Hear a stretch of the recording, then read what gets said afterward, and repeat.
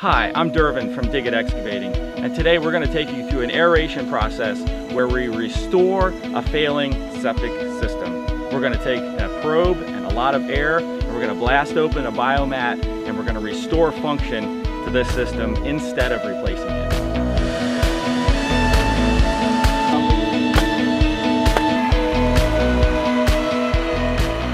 The crustbuster here is a septic tank agitator. It stirs the tank before we pump it so that we mix the solids into the liquid well and get the solids out of the tank. Basically what we're doing is we're uncovering the drain line so that we can run the camera. We can't see, there's no T coming in here. Okay, right here, there's just a lot of liquids outside the tank coming back in the pipes. And so this is the reason he was having a backup the house is because the drain field was no longer taking and draining the liquid. All right.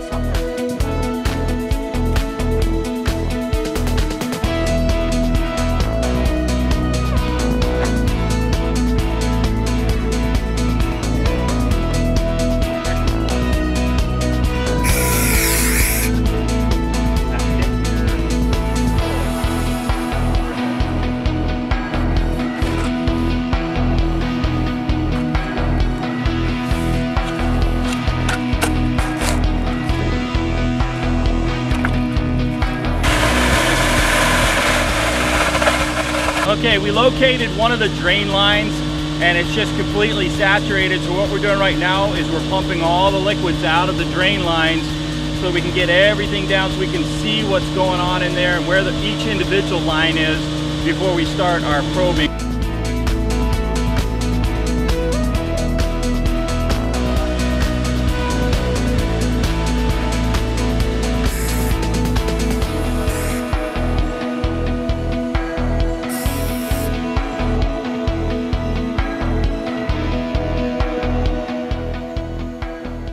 Okay, all the lines have been located and they've been vacuumed out. We've marked everything, the complete field, so we know where to aerate next.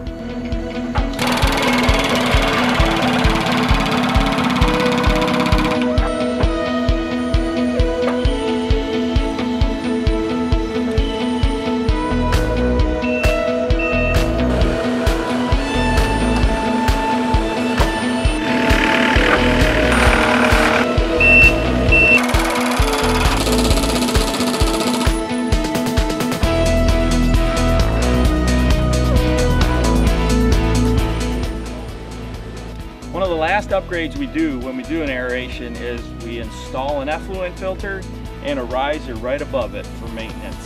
What an effluent filter does is it has these small slots in it and it keeps solids from uh, going out into your drain field and forming that biomat again. Because that was the cause of the failure in the first place.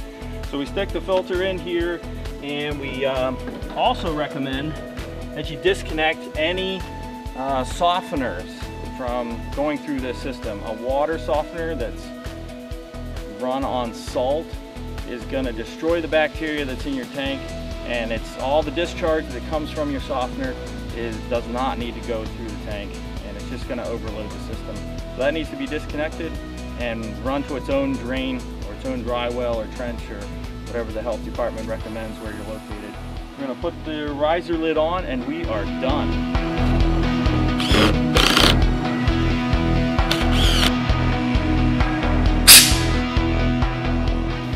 This basically takes you through the whole process of how we rejuvenate a septic system using compressed air.